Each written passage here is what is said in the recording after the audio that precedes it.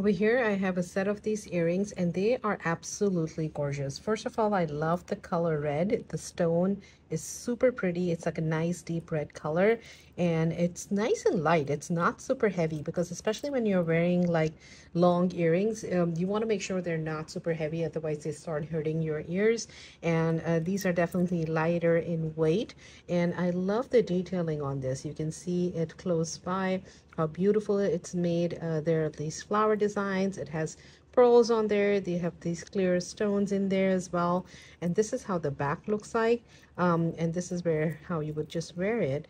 So it is really, really pretty. It is uh, this set of earring that it comes with. It also comes with these uh, pearls uh, on the string. So what you can do is if you want, you can attach them to the earrings on this part and you can wear it, you know, alongside your ear and the you know you know on pin it in your hair and that looks also really nice. So that's an added option. If you want to wear it like that you can definitely use it. Otherwise just as is also it's really really pretty.